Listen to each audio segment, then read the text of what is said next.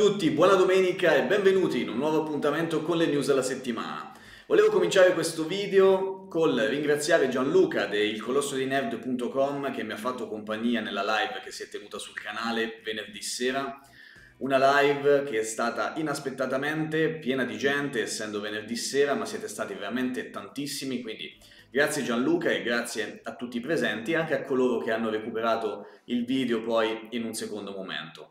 In quella live abbiamo parlato in modo un po' più approfondito di tanti annunci, quelli più importanti, che sono stati fatti nel corso del Wonder Festival 2024 che si è tenuto a Shanghai il 2 e il 3 di ottobre. E questa è stata una settimana davvero ricchissima per tutti gli appassionati di action doll in scala 1 a 6, ma per le action figures in generale.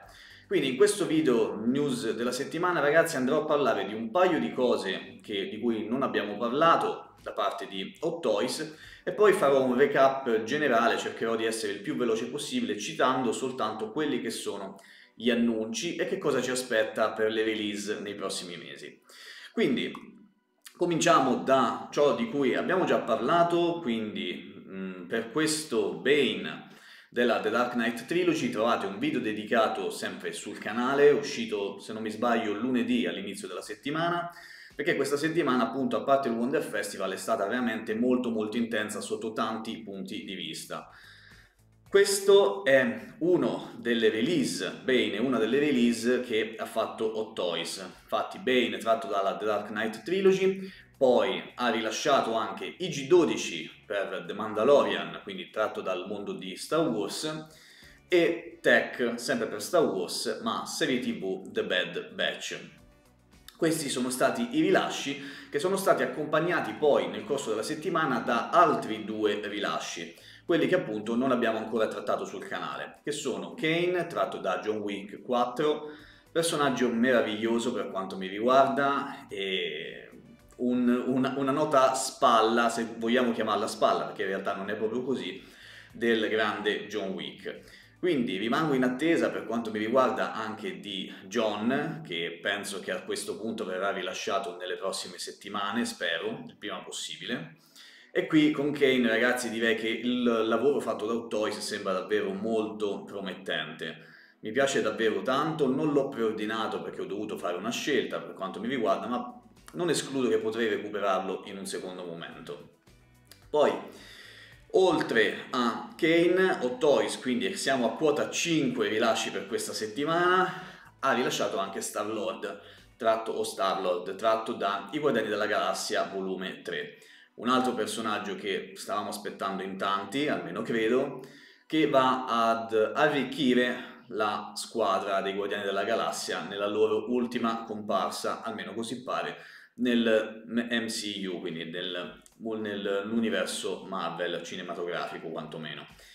Quindi anche questo un altro pezzo da non perdere, rilasciato da Toys, guardate che head meraviglioso. Ovviamente il mio problema per quanto mi riguarda è che se prenderò Starlord ovviamente dovrò recuperare tutto il resto della squadra e al momento mia grande mh, mm, colpa è quella di non aver ancora nessun membro dei Guardiani della Galassia e dovrò assolutamente rimediare.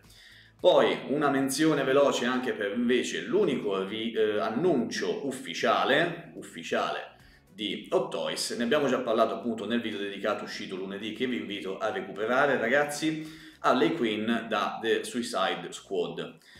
Una Harley Quinn Artisan che uscirà in una, una edizione limitata a 3000 copie, quindi innesto per i capelli, e valutate voi, insomma, qualcuno critica l'Edscult perché sembra che sia riciclato da una vecchia doll, ma insomma, ditemi voi che cosa ne pensate. Poi, facciamo un rapido recap a questo punto di quelli che sono gli annunci che sono stati fatti, annunci non ufficiali ragazzi, ma soltanto roba mostrata.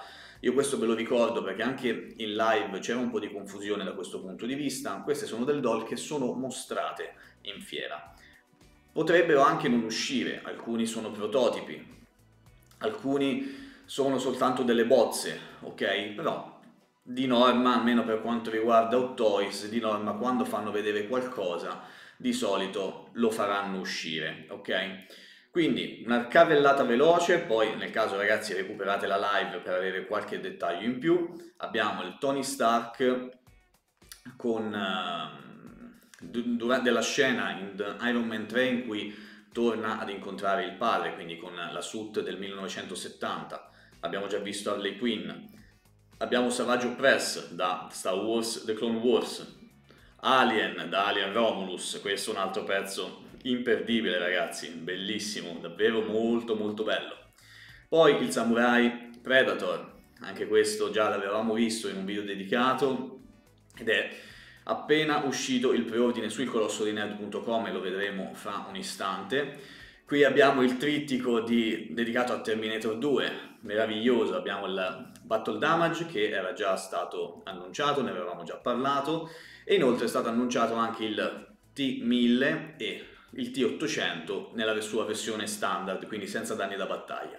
E qui c'è stata una grande confusione, un grande, cioè confusione nel senso positivo, oddio oddio prendo la battle damage o prendo la versione normale, la versione standard. Questo è un dilemma che affligge anche me, io penso che andrò per la battle damage, piccola parentesi. Poi abbiamo Spaventa Passeri, sempre per la Dark Knight Trilogy, un Venom a sorpresa tratto dal fumetto, anche questo mi sembra un pezzo davvero eccezionale che mi interessa anche se ho già recuperato, cioè ho già recuperato, ho già preordinato il Venom tratto da Marvel Spider-Man 2, quel bestione di 50 cm e più che probabilmente uscirà fra qualche settimana. Comunque è un altro pezzo clamoroso. Poi abbiamo immagini di Doctor Doom, Spider-Man da The Amazing Spider-Man che di cui sono usciti preordini sul Colosso dei Nerd e lo vedremo anche questo fra pochissimo, il Batman Returns e altre uscite come ad esempio il Predator, eh, questo Predator che avevamo già visto, un immancabile Iron Man, Chewbacca, Jar Jar, Batman e Robin della serie con Clooney, del film con Clooney scusate, ovviamente immancabili Deadpool e Wolverine, e poi qualche immagine di alcune doll che sono state in realtà già annunciate in precedenza, ma non sono dei nuovi annunci. Questo per quanto riguarda il fronte Hot Toys, quindi più o meno abbiamo coperto tutto quello che è stato mostrato da Hot Toys. Immancabile la presenza ovviamente al Wonder Festival anche di In Art con altre immagini di Legolas, anche qui ne abbiamo già parlato in modo più o meno approfondito nel video news della settimana della scorsa, della scorsa, della scorsa domenica e in quello di lunedì dove erano usciti degli ulteriori dettagli. Poi al Wonder Festival è stato, anche, è stato mostrato anche questo Python che secondo me è una meraviglia assoluta, non è ovviamente il prodotto finito, si tratta ancora di un prototipo, ma io direi che anche così va benissimo. E poi questa Catwoman che è già stata molto criticata perché appunto per le fattezze del viso. Io ragazzi vorrei soltanto precisare come ho fatto in live che al Wonder Festival del 2023 se non mi sbaglio era stato mostrato questo Thorin scudo di quercia, quella che vedete sulla sinistra è l'immagine del Wonder Festival 2023, quindi che era ancora un prototipo, quella sulla destra è l'immagine del LED sculpt di Thorin al Wonder Festival 2024. In basso a sinistra invece vedete la stessa cosa per Aragorn. Quindi quello che vedete qui è soltanto un annuncio, diciamo, da parte di Nati che dice guardate che stiamo lavorando su Catwoman. Poi ovviamente non sarà sculpt definitivo. Poi la 1 a 6 di Wukong da Black Meat, Black Meat Wukong, scusate, del videogioco ed ecco il nuovo Thorin Scudo di Quercia che sarà molto probabilmente il prossimo annuncio ufficiale di Nart per quanto riguarda la wave dedicata al Signore degli Anelli. Il Nazgul a cavallo, appena annunciato, bellissimo, e poi le solite doll, ragazzi, che tutti conosciamo, quindi Hermione, Harry Potter e quelle che sono in fase di uscita per in art. Poi ovviamente Blitzway, immancabile la presenza di Blitzway, che non solo ha presentato i nuovi Ghostbusters, nuovi Ghostbusters che vanno a sostituire una sorta di reissue con delle espressioni facciali leggermente diverse, correggetemi se mi sto sbagliando, però comunque sono delle ristampe dei famosi Ghostbusters della Blitzway, quelli che sono sempre stati super ricercati e sono stati anche oggetto di molti scalper, però a parte questo discorso sono stati ristampati e sembrano più in forma che mai. Molti si interrogano su quello che sarà il prezzo di questi Ghostbusters. Speriamo che comunque rimangano in linea eh, con quello della prima uscita, quindi intorno, se non mi sbaglio, 1200-1300 euro totale per l'intero pack.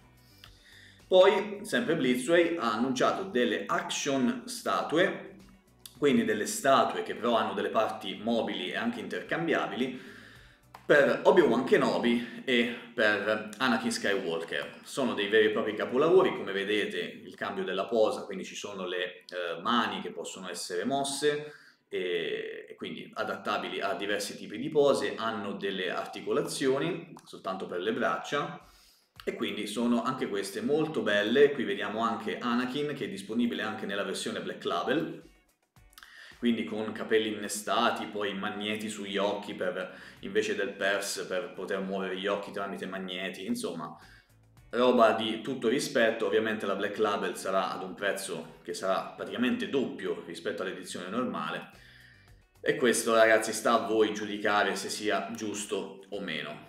Detto questo, io andrei su, se mi funziona, andrei su eh, delle news in generale perché sono state mostrate anche diverse 1 a 12 ragazzi eh, sia di Inart con la sua nuova linea delle Morphig sia da parte di altre case in generale. Quindi vi faccio vedere una rapida carrellata magari come vedete ci sono state anche altre figure dedicate a Metaslug della Tanshi Studio. Non so se saranno solo per il mercato orientale o meno tanti robot, tantissime cose ragazzi, per cui ci vorrebbe veramente un capitolo intero per parlarne, quindi ne abbiamo parlato, ripeto, in live di molte di queste cose, però ovviamente ragazzi poi vedremo, queste sono solo delle immagini mostrate a delle fiere, alla fiera, poi ovviamente quando arriverà l'ufficializzazione degli annunci, questo vale per tutte le aziende, quindi per Ottois, Inart eccetera, queste erano solo delle immagini mostrate, poi arriverà l'ufficializzazione con conseguente apertura dei preordini. Allora lì ovviamente sarò sempre qui pronto a parlarne con voi nelle news della settimana man mano che usciranno. Facciamo il solito salto su ilcolossodinerd.com per andare a, a vedere gli ultimi arrivi sul sito in quanto a preordini e a roba disponibile.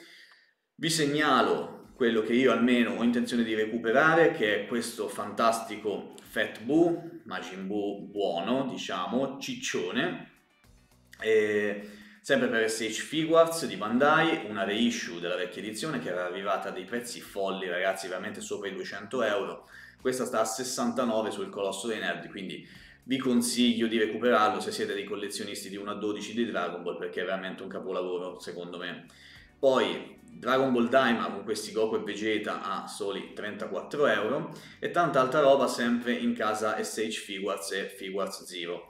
Quello che mi preme farvi vedere di più ragazzi sono i preordini finalmente aperti per il Nazgul in scala 1 a 6 di Inart di cui abbiamo parlato fino a poco fa con la doppia versione, versione standard a 369 e versione deluxe con il cavallo bellissima a 579. Ovviamente qui in art ci sta chiaramente dicendo compratevi la deluxe perché con soli praticamente 180-190 euro di differenza possiamo avere anche il cavallo che secondo me è una meraviglia. Quindi fatevi voi i vostri conti e i vostri ragionamenti. Abbiamo anche l'Egolas a 4,99, quindi si va a confermare la stima che avevo fatto dai 4,50 ai 500, mi sono salvato proprio in calcio d'angolo. Poi altre figure, anche questa della Queen Studio, una statua di, del Batman di Ben Affleck in scala 1 a 4. E poi finalmente ragazzi ecco i preordini di due delle tre doll che erano state annunciate la scorsa settimana, quindi di Amazing Spider-Man, il Samurai Predator e Doctor Doom. Il, pre- il preordine di Doctor Doom ancora si fa attendere, ma sono usciti quelli del fantastico Predator Samurai, il Predator Akaoni, a 439 e Amazing Spider-Man disponibile in due versioni, standard e deluxe, a 319 per la prima, 349 per la seconda.